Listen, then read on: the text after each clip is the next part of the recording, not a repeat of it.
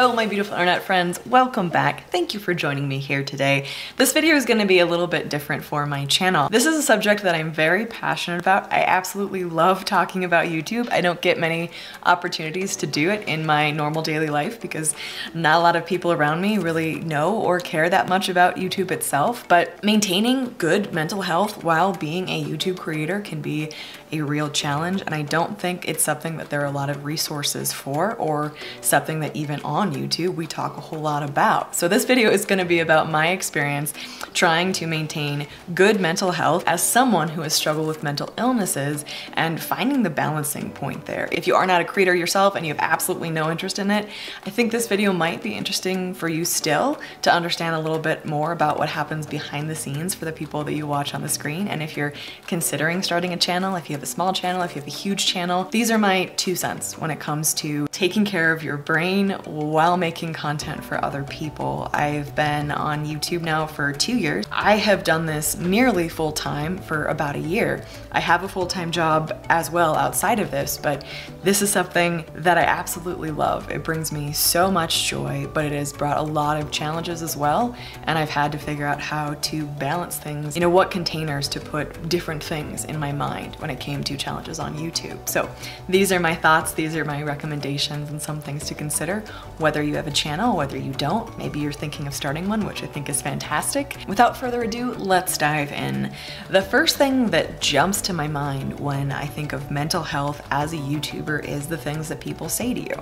And um, I think we're all very aware of trolls. That's what we like to call them, right? But the things that people say that are less than kind. And oftentimes I hear my favorite creators say things like, you know, the comments don't get to me or I just ignore them or, or whatever. And maybe that's true for those people, but I can tell you from my own personal experience, there are certain things that people will say to you that are going to hurt, that will like hit on that insecurity and just cut you open a little bit. And you'll want to respond. And should you respond or should you not respond? What I have actually found to be helpful for me personally is to first of all take notice when something bothers me um, and not to pretend that it doesn't. I almost feel shame in admitting the fact that internet comments have hurt me, have gotten to me, have ruined some days, but it's the reality of the situation. So first of all, notice that recognize it. And what has helped me is to dig into why that is. I'll give you an example. One thing that people said a lot when I first started my channel and it blew up is they called me an idiot for the decision that I made because I had to make a decision to actually amputate my leg for a chance at a pain less or less pain in my life. And so many people were like, your leg doesn't even look bad. Like this was a stupid decision to make or didn't you look at any other options? It was like suggesting that I made this decision lightly and it made me so upset, right? It's something that someone typed for two seconds. They didn't think much about it, but it got to me. And I had to think about why it got to me. And the reason it got to me is because I didn't know if I made the right decision. Like this was months after I lost my leg and I'm dealing with the aftermath of how overwhelming everything is and people are telling me I'm an idiot for making this decision and I had to put that in perspective and realize that they were hitting on insecurity, that I was scared maybe I'd made the wrong choice and that it was gonna be okay eventually. So realizing why things bothered me was really helpful and maybe that will help you too if people say things that are just unkind and not great. The last thing that I would say, which has probably been the most powerful for me, is when I've chosen to engage with people who are not being nice to me, oftentimes I find out very quickly it has literally nothing to do with me at all. Even when people say very pointedly mean things against me, we start a conversation in the comment section and I realize that this relates to something deeply painful in their own lives and I'm taking it personally because it was aimed personally, but they're just typing out a comment to work out some deep pain in their own lives. And that's also helped me kind of put things into perspective when I see angry comments that this person is probably dealing with something. The next thing that really comes to mind when it comes to mental health on YouTube is the numbers. I am not a fiercely competitive person, generally speaking. I mean, I have like a healthy level of, of competition in me, but it's not what drives me. And yet, numbers on YouTube are ridiculously easy to obsess over. There is a period of time where my channel had blown up. I had had like a ridiculous amount of views and subscribers in a couple months, which is not normal to have happen. And then it completely plateaued and then I started losing people. And I, I, I, kept looking at those numbers over and over and over and being, you know, every day I'd be like, I lost 30 more people. Okay, what am I doing wrong? And that just messed with me. That would make parts of my day unhappy. I'd feel like I was failing because the numbers weren't exactly where I wanted them to be and yeah, so on and so forth. And what I really had to do is take a step back and be like, while numbers are cool, while analytics are important, what's actually important is the community. What's actually important is what I'm saying and why I'm saying it. And so I stopped looking at numbers and I started looking a lot more at comments. I'd screenshot comments that people left that were edifying to me, that were encouraging to me, that where people were sharing their stories. And I kept those in a folder on my desktop. And so whenever I started getting freaked out about like, I don't know what I'm doing or I'm making terrible videos because 30 people out of 50,000 left, I'd look through those comments of individual people choosing to say kind things to me about what I was doing and focus on those people. And that was it. And ironically, when I started doing that, when I let go of that pressure that was just like eating me to make, you know, to get higher and higher numbers because that's the game on YouTube, right? That's what you're supposed to do. A, I got a lot happier. B, I feel like my videos got better. And C, eventually the numbers sped up again when I stopped caring so much about them. I think you need to decide how much weight you actually want to give views and analytics and subscribers.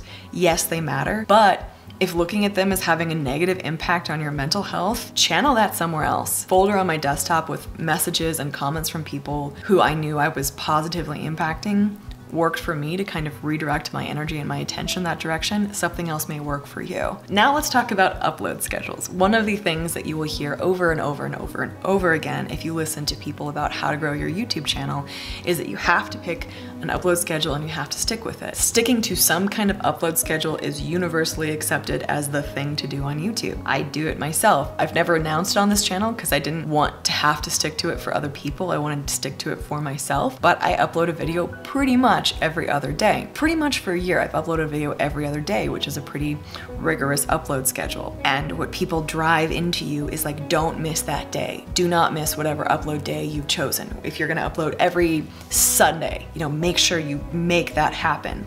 And while I would say that is really important for channel growth, do not prioritize that above your mental health. I could think of a number of times where I've sacrificed things in my life that I should not have to get a video up because I love it and because I care about it and because I'm like, you know what, I'm just gonna spend the next two hours getting this edited and uploaded and out and then I'll be good to go where I really should have been paying attention to what I was feeling. I was using it as a mechanism to disengage from life and to not pay attention to the fact that I was like sinking in depression and needed to pay attention to that. Or I'd let it really stress me out. Like I have to get this video out. You know, no one else knows about this deadline except for me, but I absolutely have to do this. I told myself I was going to. I'm not gonna let myself down. You know, like all that kind of aggressive negative self-talk where frankly, what's gonna happen if I don't upload that video? Nothing no, nothing is gonna happen. Putting it into perspective, I think is important. Um, I know I've definitely blown getting a video out out of proportion and it's had a negative impact on my mental health. So while picking an upload schedule and sticking to it is something I would recommend, also know that you can break that and nothing bad is gonna happen. It's okay to take time off. There's also this myth, which I think is actually reality to some extent, that if you take a break from YouTube, YouTube's gonna like punish your channel basically. When I went to Ireland and I, I wasn't uploading videos for like two weeks, there is a, you could see in my analytics that there is a distinctive dip when I was gone and when I wasn't uploading, which only makes sense. And it freaked me out and I was scared about the numbers and all of that. I was like, ah, I can never do that again. But that's not how people work.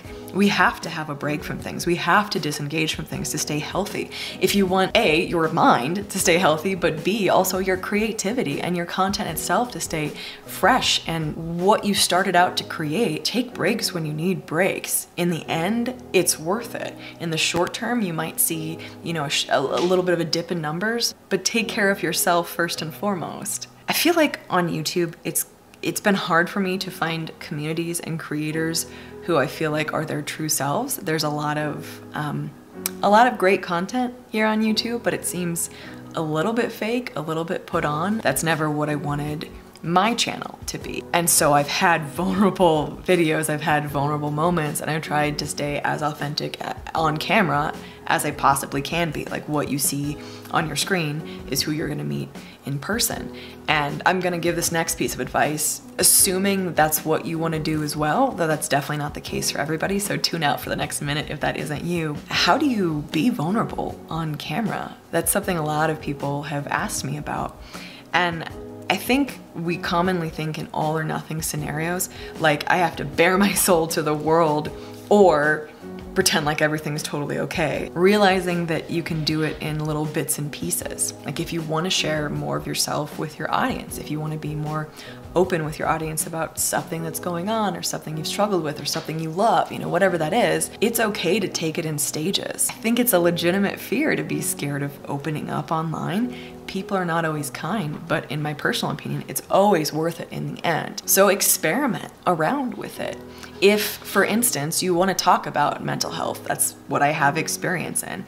Instead of maybe doing a video about, you know, your lifelong struggle with fill in the blank, depression or anxiety, maybe just mention it in a video. Feel free to take it in stages. There's only one video that I've ever removed from the internet and it was on my Trauma Talk channel. I thought that I was able to handle something that was a little bit too close to home. And so when people started commenting on it, I got really upset. It activated some PTSD that I thought was worked through that wasn't. And I felt like I had to keep that video up. I want people to hear this message, but it was messing me up so much. I felt so exposed. And eventually, I made that video private. I realized that there was no shame in dialing things back. I've had to realize that I don't have to force myself to be open if I'm not comfortable with it. Maybe experiment and push yourself to be, you know, vulnerable or talk about something that you want to talk about but it's hard to talk about. But remember that you don't owe anybody anything. You don't owe people your story. You don't owe people the deep, dark depths of your soul on camera, and you get to choose how you want to present yourself and how much of your story you actually want to share. I feel like YouTube is a very unique, specific thing to do that if you don't do it yourself, you maybe don't totally understand everything that goes into it and how much it takes, and also like all the cool stuff about it and all the intricacies of it and all of that. And finding someone to talk to was so helpful. Messaging fellow creators and being like, hey, is this something you've dealt with? Or like, how did you deal with it when people fill in the blank? Or what do you think about the new policy changes on YouTube or whatever? finding people you can actually communicate with about YouTube has been incredible for my mental health. I have a good friend in real life who I talk to about YouTube all the time, and then I have a number of online YouTube friends who are YouTubers, who are content creators, and having that outlet of people who are in the community and understand some of the specific challenges without you having to explain it has been a godsend when it came to my mental health on YouTube. I would encourage you to find the same thing. Message creators who are in your area or talk about the same things that you talk about and make a connection, build a friendship with them, collaborate, but go further than that. Don't just do it for your channel, do it for yourself, do it for the connection. Taking YouTube out of just my house alone and actually being able to talk to real people about it has made all the difference because it's a very lonely thing to do. It's a very lonely career to have. It's absolutely beautiful and I love it. It's I can't speak highly enough about how grateful I am to be able to do this, but it is really lonely. And I think one of the ways you can combat that is by connecting with people who do the same thing that you do. It's like talking to coworkers. I'm not sure about you, but I have personally found that there's often a lot of pressure to make a certain kind of content. And while this may not necessarily relate entirely to mental health for me, it does. I've experienced pushback when I've spoken on certain things, right? People being like, you know, we don't want to hear this from you.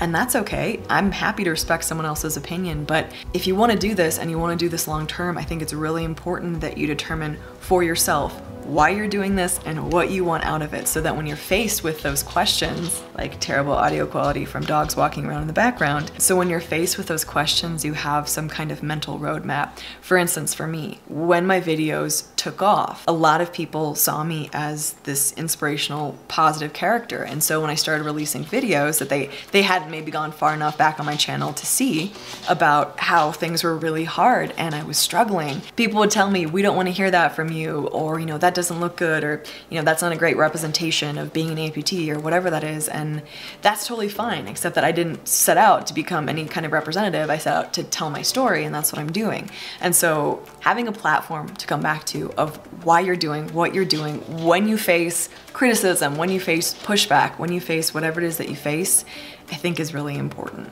It's helped me a lot. And when I've listened to that and continued to come back to the reason that I started this, the reason that I'm doing this, I've enjoyed this process. It's benefited me instead of being a, a source of stress. Along with the cautions, I think that there are also really positive mental health benefits to being on YouTube, and these are some of them, at least for me. First of all, it's been something for me to focus on. As someone who has dealt with depression and anxiety and panic attacks and PTSD, it's great to have something to channel my energy into. It's great to have a reason to make myself get out of bed on the days that I have to get out of bed. It's helped me in my healing process, healing from my amputation surgery because I wanted to make cool videos, but I was terrified to go outside and making a cool video trumped the terror I felt of being stared at in public. And so by making videos for this channel, I overcame some very serious fears in a really positive, healthy, happy way. Another thing is YouTube helps me realize again and again that I'm not alone. Whether I'm putting words to things that I'm experiencing and people in the comment section are like, hey,